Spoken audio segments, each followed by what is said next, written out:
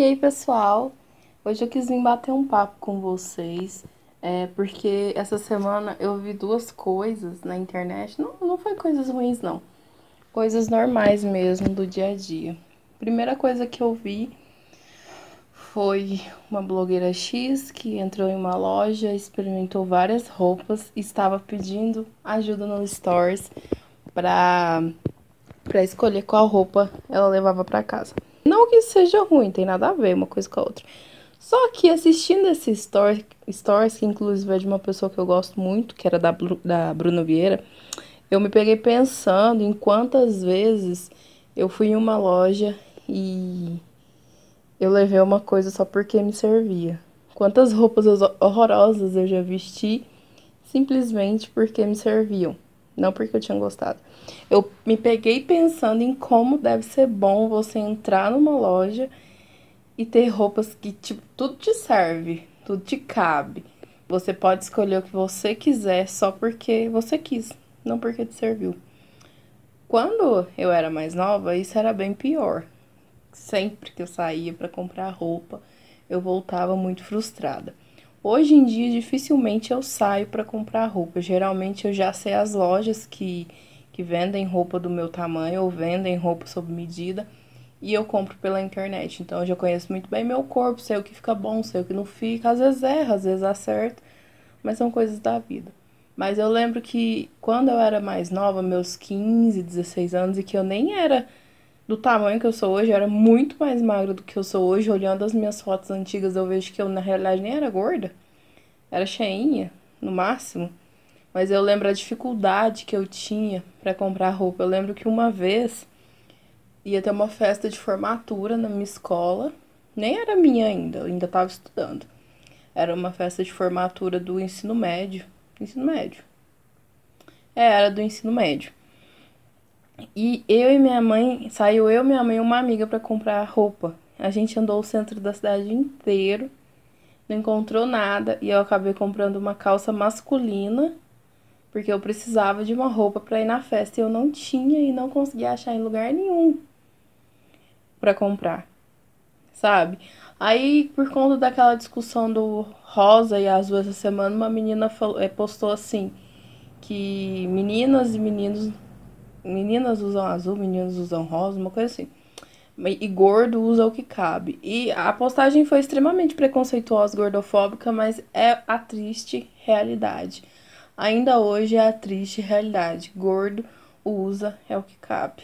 Infelizmente. Quantas vezes eu não saí humilhada de uma loja, com raiva, chateada, triste. Esses dias mesmo, eu fui no braço comprar roupa no mês do meu aniversário, fui no braço comprar roupa, achando que ia voltar. Tipo, eu levei uma quantidade até interessante de dinheiro, achando que ia voltar cheia de sacola. E comprei 11 peças. Dentre essas 11 peças, tinha mais roupa para minha mãe e para meu namorado que para mim. Voltei super chateada, extremamente frustrada. Não achei quase nada que me servia e as coisas que eu achei ou era de péssima qualidade ou eram coisas horrorosas. Então, assim, eu trouxe duas blusas, uma calça jeans, um shorts e uma outra. Ah, trouxe três blusas. Trouxe três blusas, uma calça jeans e um shorts pra mim. E eu achei que eu ia voltar do, do Brás, assim, lotada de brusinhas. Lotada de blusas. Mas, mesmo hoje, ainda não, assim, eu me sinto frustrada em comprar coisas. E eu fico pensando por que disso, porque pra, tipo, quase, sei lá, mais da metade da população brasileira é gorda. Nos Estados Unidos, então, boa parte da população deles é gordo e mesmo assim a gente não vê roupa que sirva em todo mundo. Aqui na minha cidade, mesmo aqui em Uberlândia, eu tenho acho que umas quatro lojas que eu sei que se eu for lá tem roupa que me serve que é duas, duas, inclu, duas, é, duas inclusive são da mesma rede e uma outra é outra loja aleatória que não faz parte da mesma rede. Aliás, tem três lojas aqui na minha cidade que eu sei que fazem roupa que me serve. Fazem não, vendem, né? Porque eles não são fábrica. Mas eu me peguei pensando, sabe? Quando eu tava assistindo os stories da Bruna Vieira, como deve ser você entrar numa loja e conseguir experimentar tudo e conseguir é, levar uma coisa porque realmente você. Escolher uma coisa porque realmente você gostou e não só escolher uma coisa porque te serviu. Aí vocês vão falar assim: ah, mas tem lojas específicas de roupas plus size. Gente, mas é infinitamente menor do que lojas ditas de roupas normais. No centro da cidade, aqui da, da minha cidade mesmo, tem essas três lojas que eu comentei e mais algumas outras que usam o letreiro plus size imenso na porta e tem roupa 52 no máximo. Tem uma loja que eu sigo, mas eu sigo porque eu gosto de ver as coisas que eles postam. Mas assim, uma loja aqui da minha cidade que fala que é plus size, mas todo dia, todos os dias, eles anunciam, tipo, postam no Facebook roupas no máximo 46, 48. Isso não é plus size. 46, 48, você acha em qualquer loja. Hoje em dia você acha em qualquer loja. 54, 56, 58 que é o problema. Até 52 você ainda acha em alguma loja, mas o 54 para cima não acha. É muito difícil. E não é falar tipo assim, ai, mas né, você tá reclamando à toa, é só roupa. Gente, não é só roupa. Se eu sair na rua e uma roupa rasgue, um short, vamos supor que eu saia na rua e o meu shorts, o meu shorts rasgue, eu vou eu voltar para casa pelada. Eu não posso passar em uma loja qualquer e comprar uma roupa, porque não tem. Simplesmente não tem. Ou eu volto para casa pelada, ou eu passo em algum lugar e compro um lençol e me enrolo.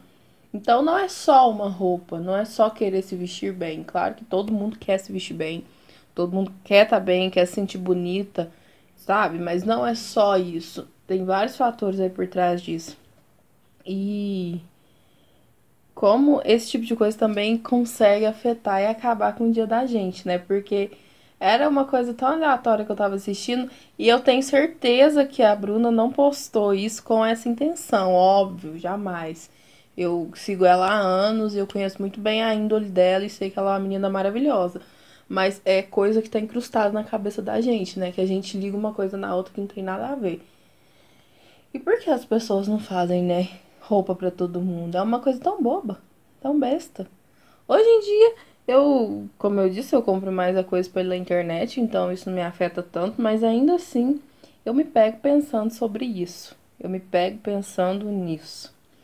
E era isso que eu queria conversar com vocês hoje mesmo, só, sei lá, à toa.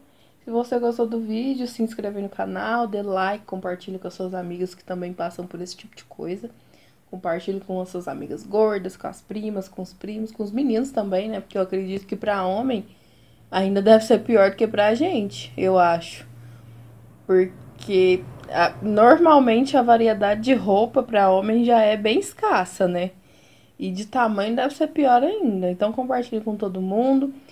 E até mais. Tchau.